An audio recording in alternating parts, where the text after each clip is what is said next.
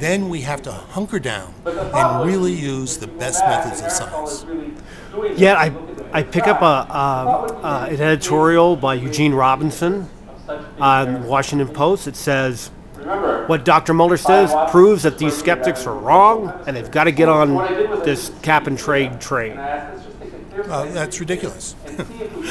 I mean, some people say, oh, I proved that there was no climate gate. No, no.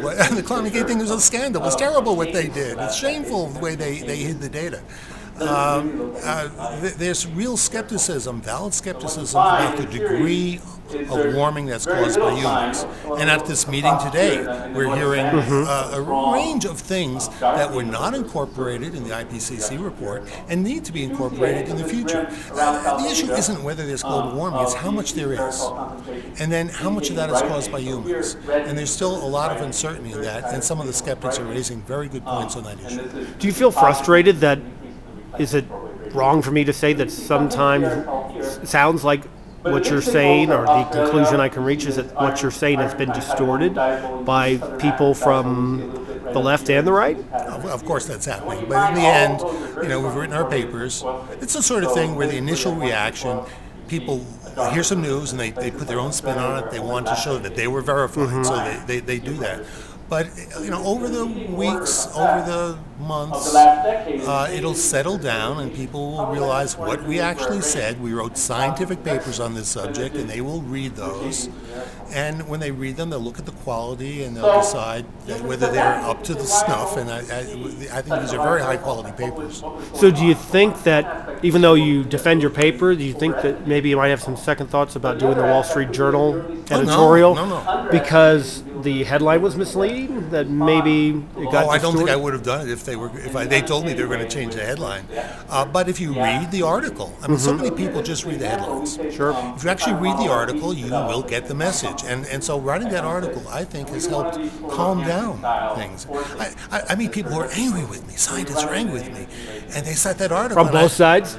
from both sides, and I say to them, "Did you know that the title uh, was changed by the Wall Street Journal?" And they go, "No." I said, "Here's my original title." And they go, "Oh." Now, why should that affect them? They didn't read the article. Last question for you. So, if you're the average American, and again, you don't have a dog in the fight, you're, you know, you want you want the world to go on for millions of years for your grandchildren, etc. Is there a, a big takeaway from what from what you've uh, what, what you've uh, written in this paper for the average person? The rise in temperature is small, 1.6 degrees, uh, but it is real. We're not sure how much of that is due to humans, but the global warming models predict that it would be about that much. Now, there's some question about those models, some valid skepticism, but it's enough that we know we are playing in the ballpark where things could go catastrophic. So we should take prudent measures to, to, to, to do this. We know we're putting a significant amount of carbon dioxide into the atmosphere, and that it's, a, it's, it's, it's substantial compared to what's been there before. It's 36% more. Um, but it's also true, and the public needs to know this, that anything we do in the United States will not affect global warming by a significant amount. Because all projections show that most of the future carbon dioxide is going to be coming from China, India, and the developing world.